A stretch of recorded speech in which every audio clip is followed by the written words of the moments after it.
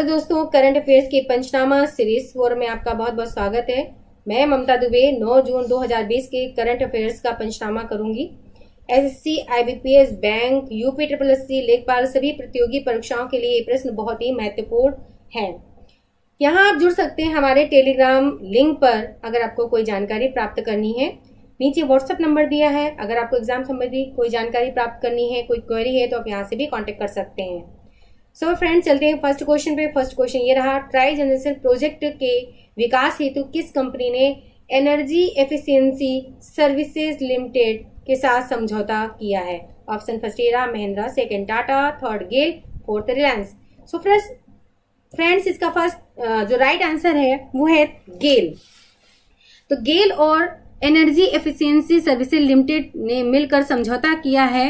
भारत के ट्राइजेनेशन सेक्टर में व्यापार के अवसरों की खोज के लिए। ट्राई जनरेशन प्रोजेक्ट को संयुक्त शीतलन ताप और शक्ति के रूप में जाना जाता है सीसीएचपी यानी कि common cold heat and power के रूप में जाना जाता है। ट्राई जनरेशन में होता क्या है कि जो प्राकृतिक गैसेस से चलने वाले जनरेटर के माध्यम से बिजली का उत्पादन किया जाएगा, जिससे प्रदूषण में रोकथाम हो सके। सो so फ्रेंड्स इसका राइट आंसर हमें मिलता है गेल जिसने एनर्जी एफिशिएंसी सर्विसेज़ लिमिटेड के साथ मिलकर समझौता किया है। यहाँ पर तीन और ऑप्शन दिया है, इनके बारे में जानकारी लेते हुए चलते हैं। फ़र्स्ट ऑप्शन है महिंद्रा महिंद्रा की जो स्थापना हुई है 1945 में हुई है। इसके चेयरमैन और सीईओ हैं आनंद गोपाल महेंद्रा। आनंद गोपाल महेंद्रा जी इसके सीईओ हैं और ये लुधियाना में है। कहाँ पर है? लुधियाना में। टाटा के बारे में जानकारी लेते हैं। टाटा की स्थापना 1868 में हुई। नटराजन, नट, नटराजन, इसकी, नटराजन चंद्रशेखर इसकी टाटा ग्रुप की सीईओ है और मुंबई में इसकी स्थापना हुई है। गेल गेल का फुल फॉर्म पहले राइट कर लीजिए। गेल का फुल फॉर्म है gas authority of Indian India limited gas authority of India limited इसकी फुल फॉर्म है। हेडक्वार्टर इसका नई दिल्ली है। 1984 में इसकी स्थापना हुई है। मनोज जैन इसके सीईओ हैं। रिलायंस बचता है तो रिलायंस के सीईओ है मुकेश अंबानी जी और 1973 महाराष्ट्र में इसे स्थापित किया गया। ओके सो यहाँ से हमारा फ़र्स्ट क्वेश्चन समाप्त होता है। चलते हैं सेकंड क्वेश्चन पर। सेकंड क्वेश्चन है फोर्ट्स ने सबसे ज़्यादा कमाई करने वाले सेलिब्रिटीज की लिस्ट जारी की है। और इस लिस्ट में शीर्ष स्थान पर कौन है? ऑप्शन फ़र्स्ट है कोयली जेनर सेकंड कानिया बेस थर्ड है रोजर फेडरर फोर्थ है Akshay Kumar so so friend इसका राइट right आंसर है कोयली जेनर ये रही कोयली जेनर ये अमेरिका से बिलोंग करती हैं। से कोयली जेनर के बाद जो सेकंड नंबर आता है वो आता है कान्ने बेस्ट का और रोजर फेडरर थर्ड नंबर पर आते हैं तीसरे स्थान पर आते हैं। और भारतीय में देखेंगे तो हमारे इकलौते भारतीय हैं अक्षय कुमार जी। ये सबसे ज़्यादा कमाई करने वाले भारतीय हैं इकलौते भारतीय हैं। सो so, आपका इसका सेकंड का राइट आंसर मिलता है कोयली जेनर। चलते हैं थर्ड क्वेश्चन पर। थर्ड क्वेश्चन ये रहा कि किसने safe online learning in the times of COVID 19 नामक इंफॉर्मेशन बुकलेट लॉन्च किया है? फ़र्स्ट है option Donald Trump second Narendra Modi third है अरविंद केजरीवाल फोर्थ है आपके रमेश पोखरियाल। सो फ्रेंड्स इसका राइट आंसर है रमेश पोखरियाल। ये रहे रमेश पोखरियाल, निशंक जी इनका फुल नेम है और ये केंद्रीय मानव संसाधन विकास मंत्री भी हैं। यहाँ पर तीन ऑप्शन और दिखते हैं। फ़र्स्ट है डोनाल्ड ट्रंप ये अमेरिका के राष्ट्रपति हैं नरेंद्र मोदी जी जानते हैं आप सभी लोग। ये भारत के माननीय प्रधानमंत्री हैं अरविंद केजरीवाल जी ये मुख्यमंत्री हैं दिल्ली के। सो so, यहाँ से थर्ड क्वेश्चन भी समाप्त होता है। फोर्थ क्वेश्चन मालासुर द डोमेन ऑफ़ डिफेफा नामक टूल किट किसके द्वारा जारी की गई? ऑप्शन ये रहा।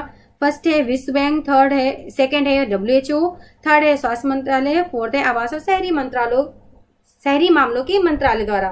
सो so, फ्रेंड्स इसका राइट आंसर है आवास और शहरी मामलों के मंत्रालय द्वारा ये मालासुर द डोमेन ऑफ़ डिफेफा नामक टूल किट जारी की गई। इस टूल किट में जो जारी करने का उद्देश्य है वो है जो शहरों में गाद निकलती है जो मलयुक्त गाद होती है उससे जो प्रदूषण फैलता है उसको रोकने के लिए इस टूल किट का बीबीसी मीडिया एक्शन के सहयोग से डिज़ाइन किया गया है बनाया गया है टूल किट को। इस टूल किट में अंग्रेज़ी के साथ दस भारतीय भाषाओं को भी लिया गया है। यानी दस भारतीय भाषाओं में जो व्यापक रचनात्मक सामग्री है उसको भी शामिल किया गया है। सो so, इसका राइट आंसर आपको मिल जाता है कि मालासुर द डोमिन ऑफ़ डिफेपा नामक टूल किट किसके द्वारा जारी की गई है? आवास और शहरी मामलों के मंत्रालय द्वारा। फिफ्थ और लास्ट क्वेश्चन है कि हाल ही में मनाए गए विश्व खाद्य सुरक्षा दिवस की थीम क्या थी? ऑप्शन फ़र्स्ट है food for security everyone's businesses second है टेंस फॉर नेचर या क्लाइमेट एक्शन थर्ड है इनफ अस्थमा डेथ और फोर्थ है measurement for global trade so friends इसका राइट right आंसर ये रहा food security every everyone's business विश्व खाद्य दिवस सुरक्षा की ये थीम है। सो so फ्रेंड्स अभी तक हम लोग जून सप्ताह के हैं, ये पढ़ रहे थे सभी इम्पोर्टेंट डेट्स तो एक बार इसको रिवीजन करते हुए चलते हैं। द्वितीय सप्ताह को पहले लेते हैं। द्वितीय सप्ताह में भी हमने मनाया सात जून को विश्व खाद्य सुरक्षा दिवस। ठीक है, और इसकी थीम ये रही food security everyone's businesses eight June को हमने मनाया विश्व महासागर दिवस और विश्व ब्रेन ट्यूमर दिवस।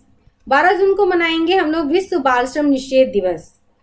फ़र्स्ट वीक में हम लोग क्या मना चुके हैं? फ़र्स्ट वीक, फ़र्स्ट जून को मना चुके हैं। विश्व दुग्ध दिवस।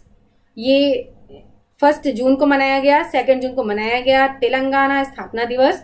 थर्ड जून को मनाया गया, विश्व साइकिल दिवस।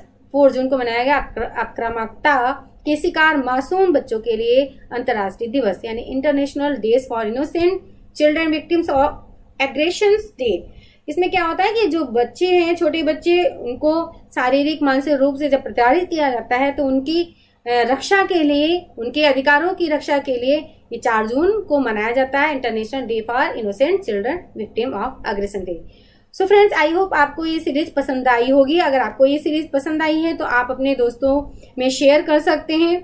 आप इसे लाइक कर सकते हैं। अगर कोई क्वेरी या कोई कमेंट्स आपको देना है तो आप कमेंट बॉक्स पर दे सकते हैं। So friends thank you for watching this video. Thank you